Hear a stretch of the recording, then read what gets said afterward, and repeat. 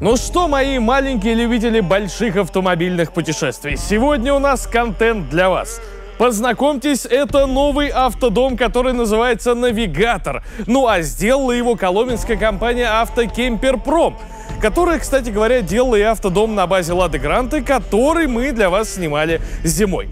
Но эта машина, поверьте, куда интереснее, и она точно подойдет для путешествия большой компании. Поэтому сейчас об этой тачке мы расскажем вам во всех подробностях. Вы на канале Автору, меня зовут Александр Мирошкин. Не забывайте о том, что с вас лайки, подписки и комментарии, а с нас годный контент. И мы начинаем.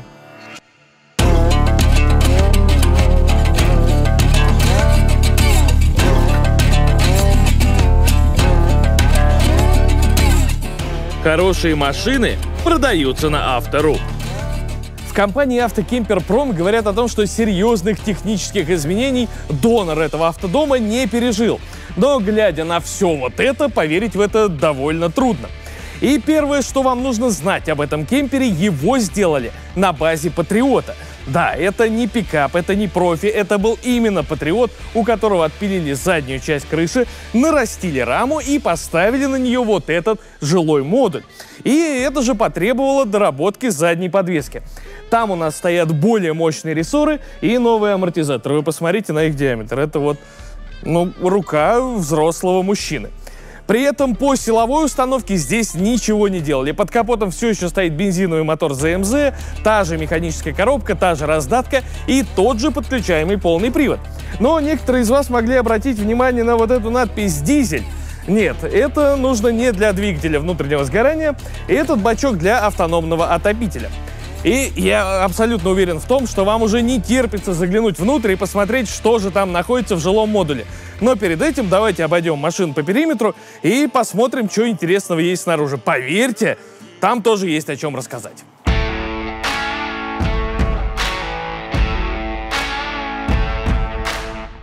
Одно из ключевых отличий навигатора от Лады Гранты, которую мы снимали и про которую я рассказывал, ссылка на этот обзор будет в описании, это вот такое вот окно во внешний мир.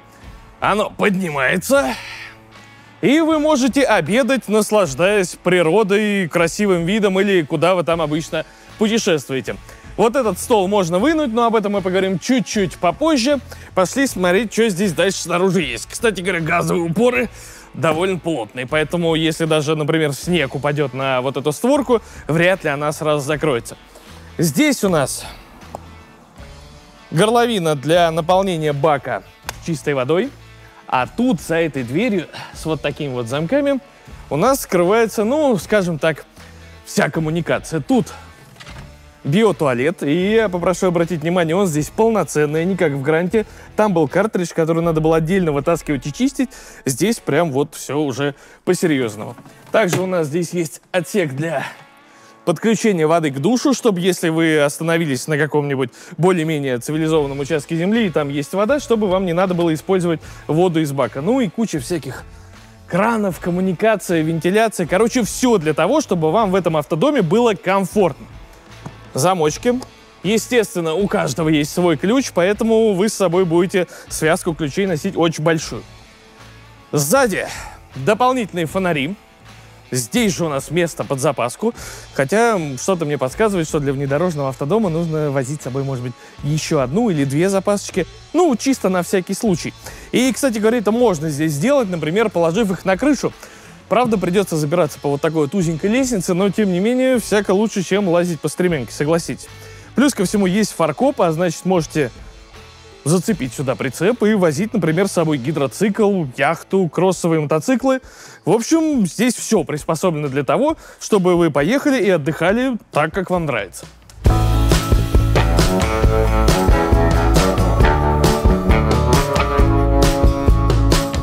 Пожалуй, одно из самых, скажем так, незаметных изменений экстерьера этого Патриота это вот такие вот зеркала на длинных ножках. Ну, а нужны они для того, чтобы вы видели, что там за машиной происходит, потому что в задней части она стала, ну, прям существенно шире. Спереди, в общем, тоже вот появились такие расширители колесных арок, чтобы, если вы едете по грязи, машину всю не закидала. Ну, а спереди у нас вот такой мощный кенгурятник. Здесь есть дополнительный свет, и он же стоит вот там вот наверху на жилом модуле. И еще обратите внимание, здесь логотип не УАЗа, а автодома «Навигатор».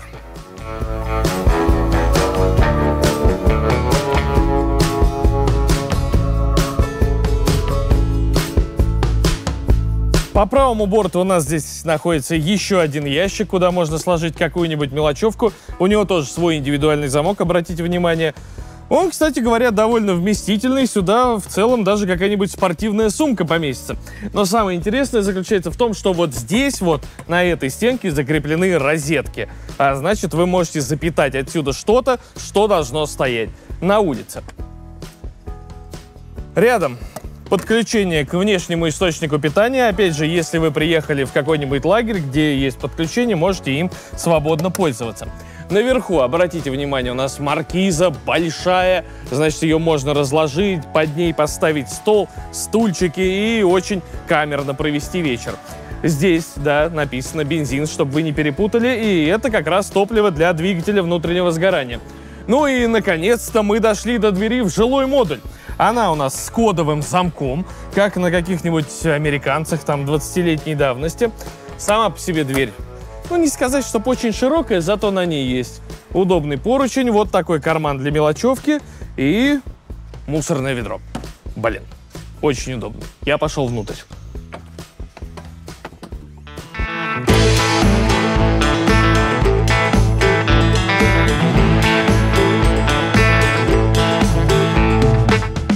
Тех, кто жизнь себе не представляет без свежего воздуха, хорошие новости здесь начинаются прямо с порога. Потому что дверь можно оставить открытой, а от комаров вас спасет вот такая вот москитная сетка. У Гранта и от Автокемперпром, кстати говоря, тоже такая была, но там она была реализована несколько иначе. Она являлась частью двери, и, если честно, я пока не понял, как удобнее, но вот это выглядит вполне рабочим решением. Прямо над входом у нас, скажем так, пульт управления жилым модулем автодома «Навигатор». Тут у нас мастер выключателей, индикатор заряда батареи, э, индикатор уровня воды в э, чистом баке и в грязном баке. Плюс ко всему пульты управления автономным отопителем, а также вот такой вот в ретро-стиле указатель уровня топлива в этом самом автономном отопителе. Ну а сверху у нас располагается телевизор со смарт-приставкой, а значит в любом путешествии можете смотреть любимые сериалы, кино, на ютубе нас можете посмотреть. Короче говоря, максимальное удобство. А здесь, за вот этой дверкой, вся коммуникация. Провода не болтаются, все симпатично. Справа от входа у нас располагается кухонный модуль. Это капсульная кофемашина, но места здесь на самом деле столько, что можно расположить полноценную кофеварку. Правда, тогда придется вот пожертвовать рабочей поверхностью, но это уж кому как нравится. Здесь плитка электрическая с одной комфоркой, но так как это у нас притерийный, скажем так, образец, плитка вот не очень закреплена, требуется небольшая доработочка напильником.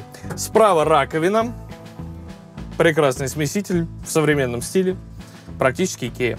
Ну а справа от него места для хранения. Сюда можно поставить всякие специи, положить полотенца, бумажные полотенца, какую-то другую кухонную утварь. И все это не будет валяться у вас э, по всему салону. Сверху еще пара полочек. Они секционные. 12-вольтовая розетка, USB-порт – Снизу, ну, конечно же, холодильник. Что за большое путешествие без холодильника? Без большого холодильника. На фоне Лады Гранта это прям, ну, прям серьезный агрегат. Там он был сильно меньше, а в верхней части располагается морозилка. Тоже очень удобно. Тут, конечно, еще один ящик. Сюда можно положить столовые приборы. Без проблем все вилки, ложки поместятся. Предназначение вот этой ниши я не очень понимаю. Свою версию напишите в комментариях.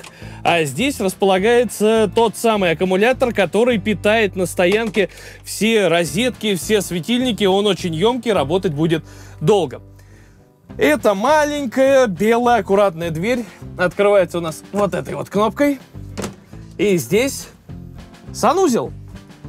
Туалет, раковина, душ, На полу вот такая деревянная подстилка, там же слив, шторки, шторки, шторки, шторки, шторки, дополнительная вентиляция здесь есть. И как вы думаете, что вот это вот за круглая черная штука?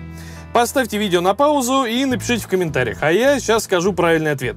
На самом деле это стиральная машина. Да, она совсем небольшая, но какие-нибудь трусы, носки здесь постирать точно можно. Принципе, даже можно затолкать какую-нибудь футболку, но вот э, крупные какие-нибудь штаны там или куртку сюда уже, естественно, не засунешь. И, конечно, опять полки, ящички, ящички, там вот даже розетка есть. Блин, как же все удобно и продумано. Места мало, но удобно. А вот здесь находится та самая штука, которая делает этот автодом четырехместным. Это два отдельных кресла. И на них можно сидеть, когда машина едет, потому что они оснащены ремнями безопасности. И эти же кресла являются, скажем так, неотъемлемой частью столовой зоны. Вот у нас здесь небольшой стол. Но, в принципе, вчетвером здесь пообедать, поужинать или позавтракать можно без проблем. Он такой немножко скошенный, чтобы сюда можно было удобнее забираться, и он не съедал лишнее пространство. А вот тот самый люк, который мы с вами снаружи видели. Посмотрите, какая площадь. Обалдеть! Но здесь у нас опять возникает проблема во-первых, как его закрыть? Вот вам одна интересная особенность автодома Навигатор. Закрыть этот люк изнутри невозможно. Но здесь есть отдельное окошко, опять же, если вы любите свежий воздух. И, соответственно, можно сделать вот такой сквознячок. И опять же, чтобы вас не донимали комары и прочие москиты, здесь есть москитная сетка. А чтобы вас э, не донимали соседи по кемпер-парку, есть жалюзи. Так что можно максимально уединиться. Сверху, естественно, опять полки, полки, полки, полки, полки. Розетка 12 вольт, два USB-порта. Если в этом автодоме вы не сможете что-то зарядить, то кажется, у вас слишком много гаджетов, вам нужно обратиться к специалистам. Еще полки. И да, вот это все. Еще и дополнительное спальное место. Сейчас будем его разбирать. Для начала демонтируем стол. Складываем ногу. Куда-то его убираем. Складываем вторую ногу. Вот, кстати, для тех, у кого были вопросы, как он крепится. Крепится он вот таким вот интересным приспособлением, явно кастомного вида. Ну, выглядит довольно надежно. Итак, все убрали. Убрали подлокотники.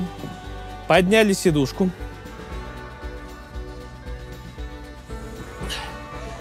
Все это по направляющим подвинули вперед.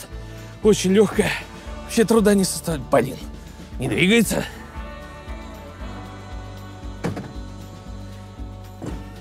Секундочку. Я смог. Дальше. В обязательном порядке вынимаем подголовники, иначе спинки сидений не опустятся. И вот этими ремешками опускаем все вниз.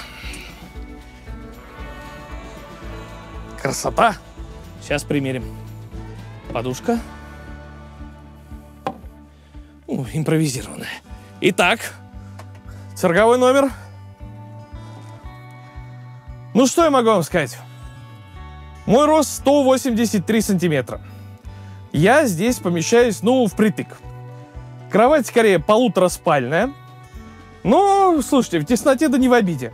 В путешествии здесь можно и вдвоем поспать. Ну, а более габаритные люди могут разместиться в, на другом спальном месте. Пойдем его и посмотрим. Для начала убираем остатки стола.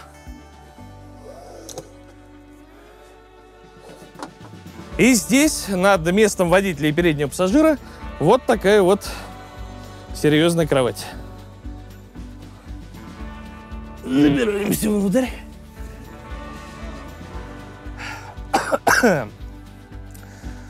Слушайте, ну, опять же, в тесноте да не в обиде. Вдвоем здесь спать Ну, можно. Можно спать вдвоем. Плюс ко всему есть вот отдельная вентиляция с отдельным пультом управления. Есть всякие полочки здесь, куда можно там книжки положить, какие-нибудь гаджеты. Что вы обычно делаете перед сном? Есть шторки. Отгородиться, так сказать, от остальной части салона, уединиться с вашей второй половиной. Ну и окно. Здесь можно провожать закаты, встречать рассветы. Все по красоте. Жаль, только спать сейчас не хочется. Я поэтому сел бы за руль. И давайте уже выясним, как этот автодом-навигатор едет.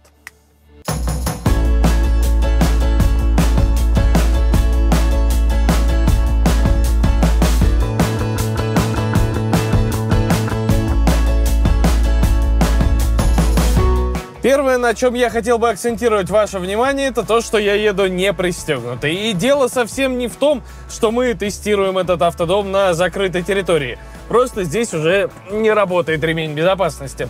Правда, ребята из Автокемперпром здесь вообще ни при чем, это чисто уазовская фишка. Ну и во всем остальном это, в общем-то, самый обыкновенный УАЗ Патриот. Он довольно лениво поворачивает, довольно вяло тормозит, не слишком интенсивно разгоняется. Ну а для того, чтобы взаимодействовать с коробкой передач, здесь нужна определенная сноровка. Например, чтобы попасть в третью ступень, э, ну, а пятая, как всегда, включается вот в личном пространстве переднего пассажира. С другой стороны, ну а какой еще крупный отечественный внедорожник можно взять для реализации вот настолько масштабного проекта? Я, честно говоря, ума не приложу.